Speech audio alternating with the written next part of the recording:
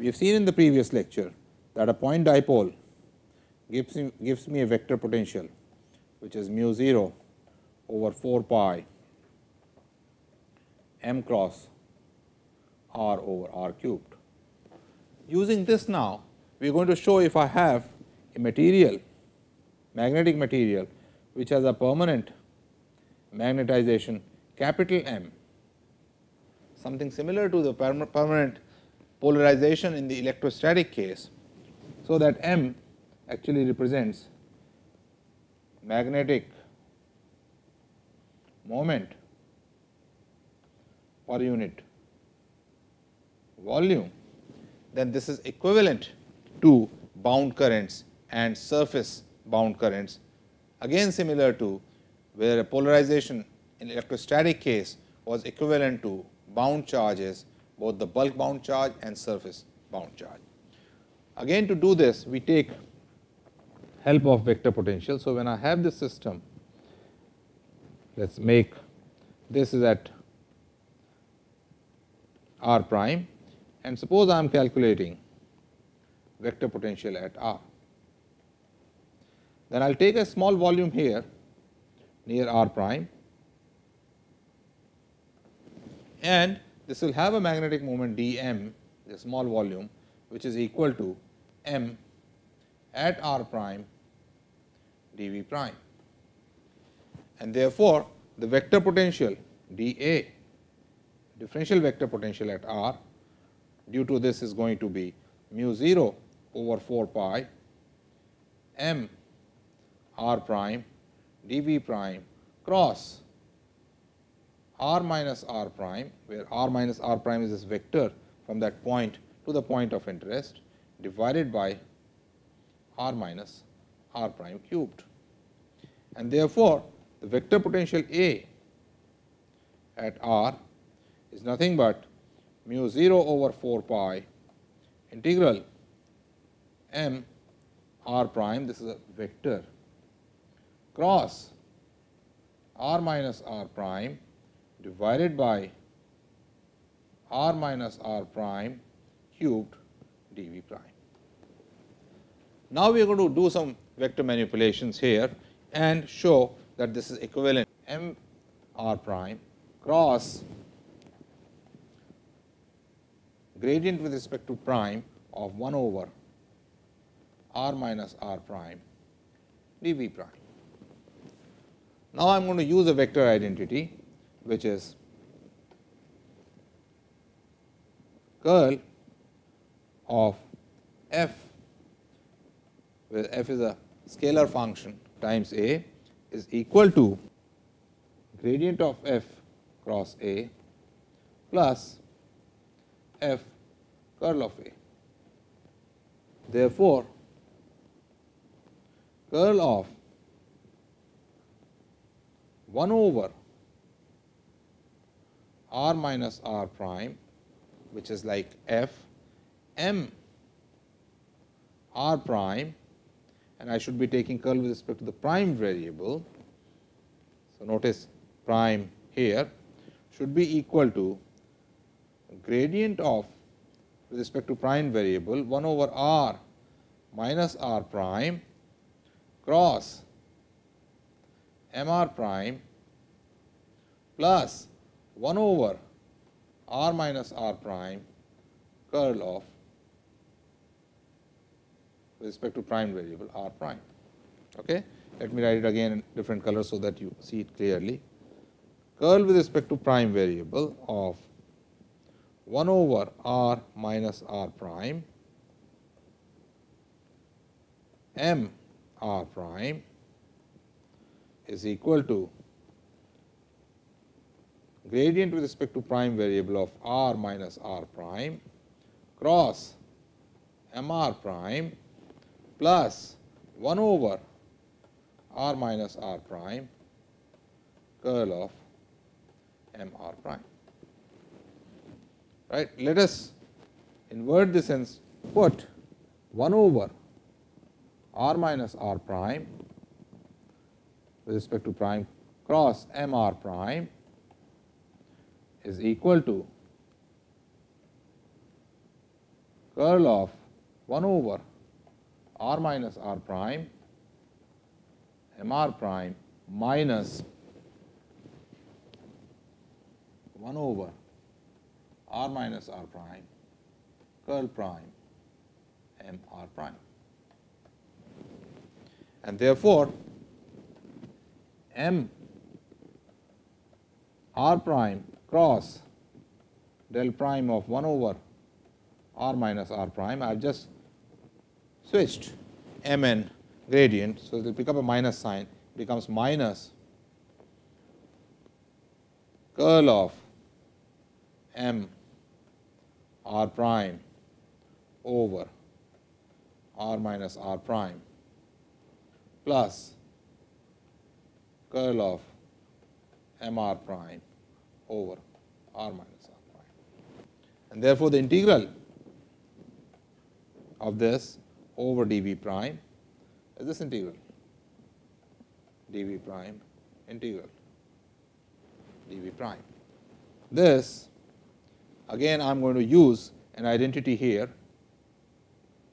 which says that integral of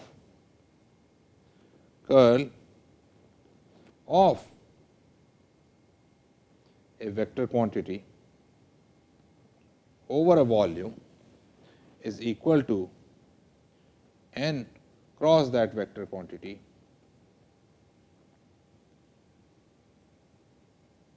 over the surface. So, what this means is that if I have a closed surface enclosing a volume, this volume integral is equal to n cross v, where n is coming out of the surface over this surface.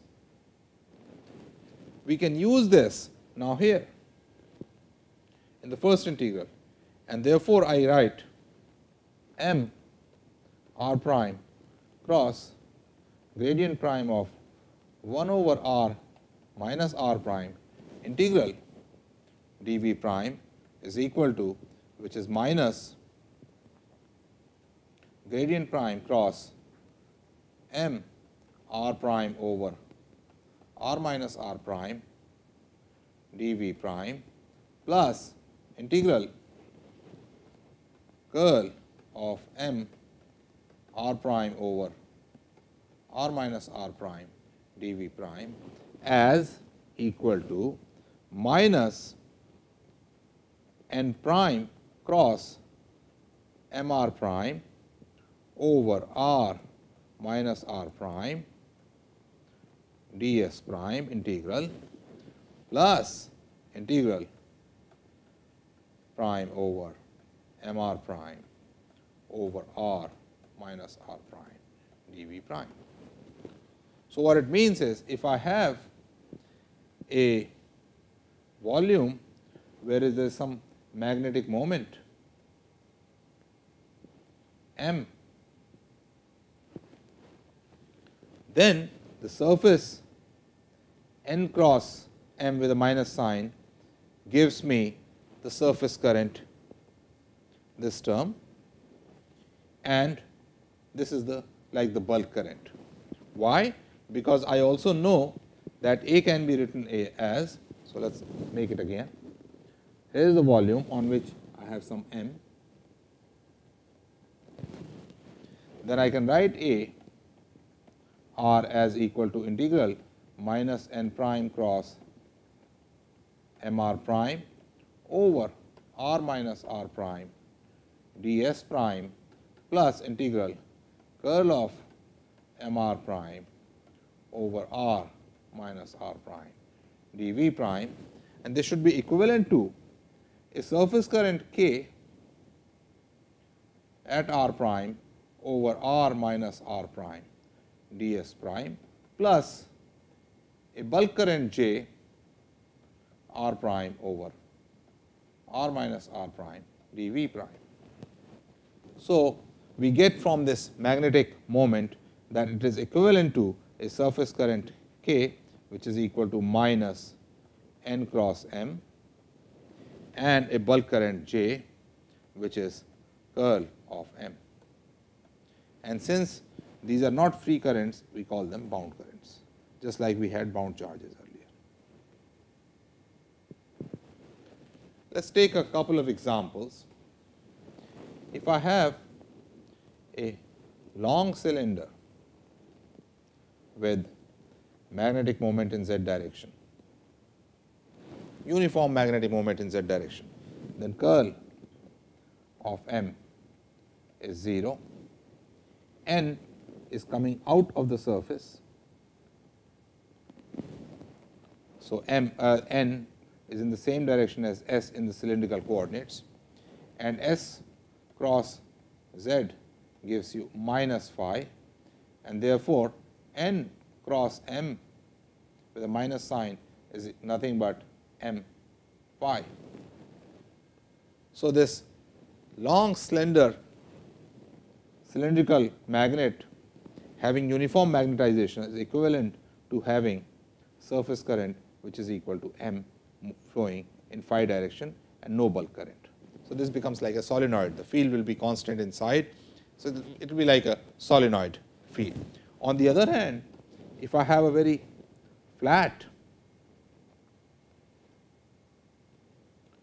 thin wafer like or thin disc like thing with m in z direction, this will be like a ring of current,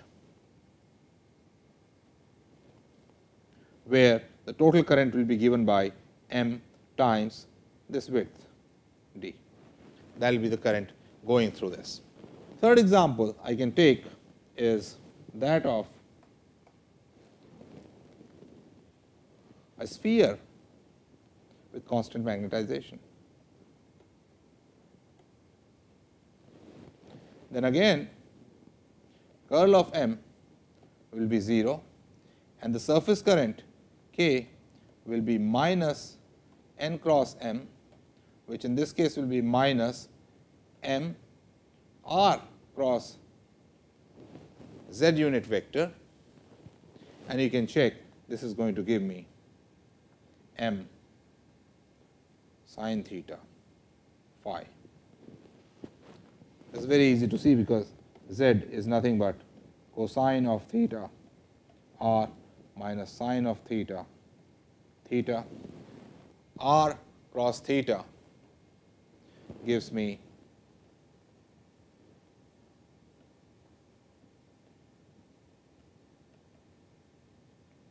minus phi and therefore, k becomes m sine theta phi. But this we have already solved, this we have solved in a previous lecture. And therefore, this is going to give me a constant magnetic field B which is 2 mu 0 k over 3 z inside. And a dipole field corresponding to m equals 4 pi by 3 r cubed m outside.